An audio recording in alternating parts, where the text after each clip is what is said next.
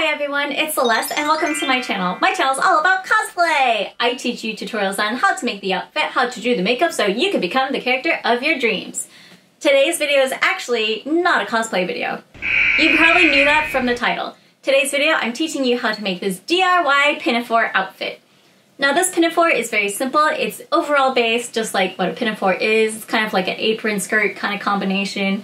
But this one is a little different in the essence that we are going to be using suspender clips for the back straps. So you can change it any which way you want. If you want to crisscross it, keep straight, make a V in the back, you have that option and liberty to do that. This is a really easy DIY in my opinion. You basically use a straight stitch and a zigzag stitch throughout the entire video. If you have any questions, make sure to leave them down below. Subscribe if you're new to my channel and if you haven't become a member of my sewing pincushion called YouTube. Alright, so let's go ahead and get into this quick little tutorial. I hope you guys enjoy it, so, you know, here we go.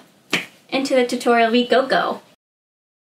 This project I'm using 1 meter of fabric. I'm using this British cotton print that I got in Vichy earlier this year. I have a vlog on it. Go check it out. First, I'm going to iron out this fabric completely open. I don't want any folds on this at all. So take your time and iron this bad boy out.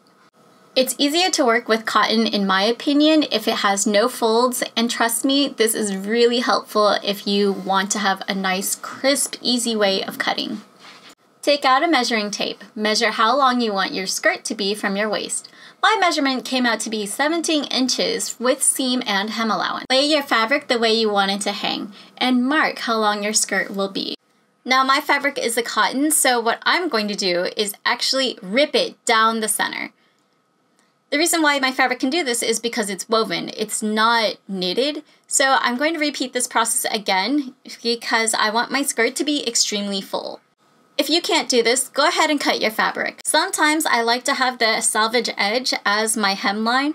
I make sure to hide the little seams where it's at, but for this project, I'm going to be cutting it off. Now line up the skirt edges, making sure that the fabric is facing the correct way, right sides together, then sew it together. I didn't want this seam to fray, so I serged the end. Since you already serged that seam, serge the entire perimeter of the skirt. You don't want this skirt to fray, so go ahead and do that. I'm going to take the bottom edge of my skirt and sew a single straight line down that. This is going to help me create the perfect fold over hemline. This line of stitches is actually going to be the perfect guide creating our hemline. We're going to fold it over and make sure that the stitches are at the very bottom. Once they are all completely lined up the way that you want it to be, take the iron and iron it down. This is going to help secure the fabric and naturally fold better when you go take it to the sewing machine. If you want, you could actually use a decorative stitch for your hemline. This is going to make it pop in a subtle way. If you're not used to using decorative stitches, go ahead and practice a few times or just use a single straight stitch down the bottom hem. This is what it looks like. It has cute little hearts at the bottom, and again, you don't have to do this if you don't want to. Now line up the bottom hemline. We're going to pin it together and then sew it at a 5 8 edge. This later is going to help you add the zipper in. Remember, don't sew all of this together. Take out your remaining fabric. Find your waistband measurement. Cut two 4 inch strips to create the waistband. I didn't have that much fabric left, so I used the scraps. Now assemble the waistband by sewing all the pieces together. Now make a tube out of the waistband by sewing the edges together, lengthways. I also decided to serge the edges, this way it doesn't fray before I add the skirt on. Now I'm going to use hand sewing to gather the skirt. I like gathering it by hand versus machine because I have more control. Now I'm going to pin the skirt gathered to the waistband. I like to pin it in multiple areas, first starting at the middle point and then the sides where the seam is still open. So then I continue going and evenly spreading around the skirt. Make sure to pin as much as you need to, sometimes it'll be less. Once you are happy with your gathers attached to your waistband, sew it together.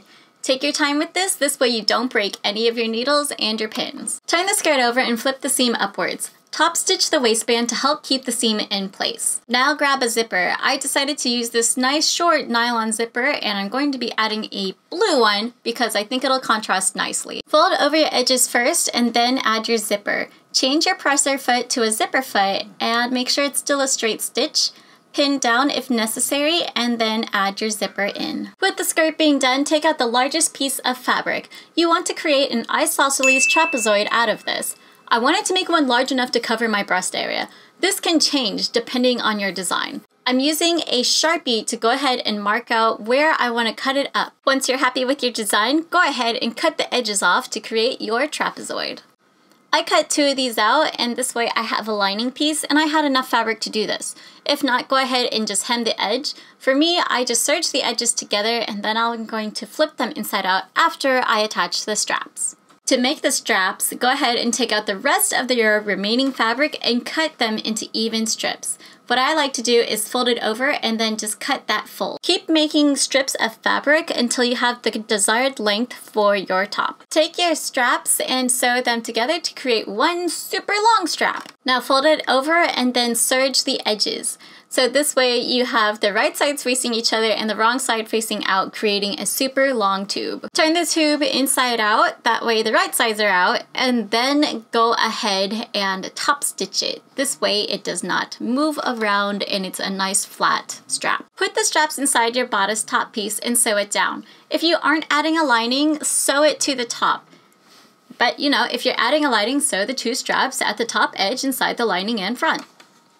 Make sure to secure this by going back and forth and having a super strong stitch. Go ahead and cut off the top corner, and this is because you're going to flip it inside out.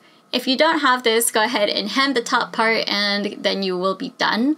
But for me, I have the lining, flip it inside out, and then use something like a knitting needle to make sure the entire edge is nice and flat and creased. Now that you have a nice flat crease edge, go ahead and top stitch it to lay in place. Serge the bottom edge, this way it does not fray when you add it to the waistband. So now find the middle of your skirt and you want to do this by finding the sides and then folding it in and then there's your middle. Find the middle of your front piece and make sure it's the side that you want to be the front.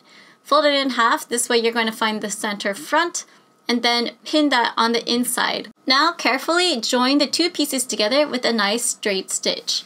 After joining the top piece, I decided to go ahead and top stitch the top of the waistband all around. This part's a little bit optional, but I decided to add an extra hook and bar to my skirt. I'm just going to hand sew this in next to the zipper, this way it stays in place and does not come undone. Try your skirt on and see how long your straps are. Some straps you can actually just go ahead and sew on to the back side, but I wanted to have the freedom to change it up.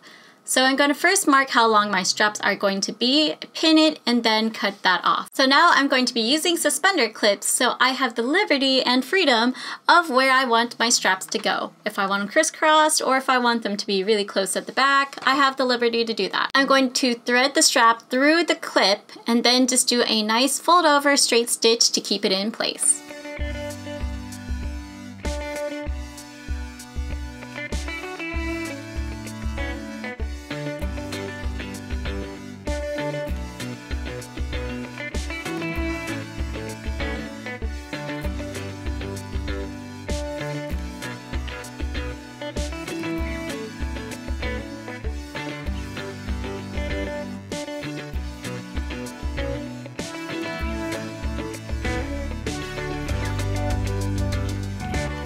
Loving the first one so much, I decided to make a second one with some of the fabric in my sewing stash, and with the remnants, I made an extra pocket. This pocket can actually fit my cell phone and hold it in place. I absolutely could not let this fabric go to waste, and I'm glad I made it into this cute pinafore. It has Iron Man, Thor, Hulk, Spider-Man, Captain America, and Daredevil. Out of all the characters on this outfit, I was so shocked to see that Daredevil was on this print.